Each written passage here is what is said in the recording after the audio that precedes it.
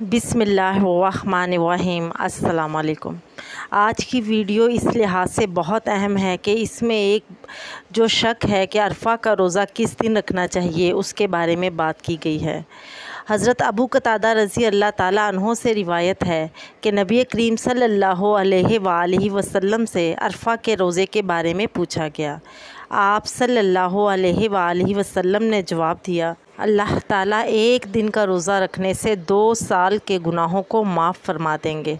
आप सल्लल्लाहु अलैहि वसल्लम ने फरमाया, मेरा गुमान है कि इस एक दिन के रोज़े से दो साल के गुनाहों की माफ़ी होगी। एक साल जो गुज़र गया और एक साल जो जारी है। एक बहुत अच्छा गुरकारी शुएब अहमद ने अपने बयान में शेयर किया कि अगर एक तीस साल का नौजवान अपने पंद्रह दोस्तों को तैयार करे रोज़ा रखने के लिए और उसके बाद उनकी अफ्तारी भी अपने घर पर करवाए तो उसके तीस साल के गुनाह माफ़ हैं।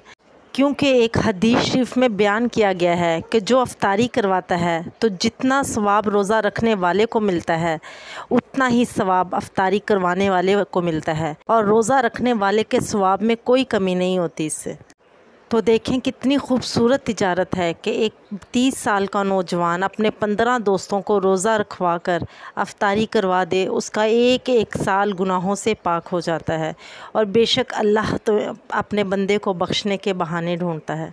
आप सल्लल्लाहु अलैहि वसल्लम ने अरफा के रोज़े की बात की है। अब सवाल यहाँ पर यह पैदा होता है कि अरफा का दिन का रोज़ा किस दिन का रोज़ा है?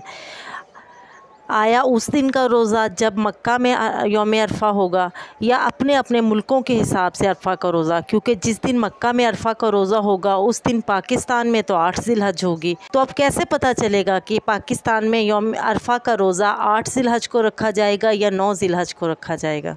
ये भी हो सकता है कि कुछ ममालिक उनमें उस वक्त रात हो जब मक्का में योम अरफा का दिन हो। तो इसलिए इस बात का पे गौर करना बहुत ज़रूरी है कि योम अरफा का रोज़ा किस किस दिन बनता है। इस्लाम जो है, दीन हमारा मज़हब जो है, वो मुतलिक के हिसाब से हमें हुक्म देता है और मुतलिक है चाँद और सूरज का निकलना। जिस हिसाब से चाँद निकल, निकलता है, उसी हिसाब से रोज़ा रखा जाएगा, उसी हिसाब से ईद होगी। बस पाकिस्तान में अरफा का रोज़ा नौ ज़िलहज को बनेगा, इंडिया में भी नौ ज़िलहज को बनेगा। अल्लाह ताला हमें दिन को समझने और उस पर अमल करने की तोफ़ी का फ़रमाए, हमारा ख़ात्मा ईमान फरमाए और हमारा दुनिया और आख़रत में अच्छा इंजाम करे। आमीन। जजाकल्ला खैरन कसी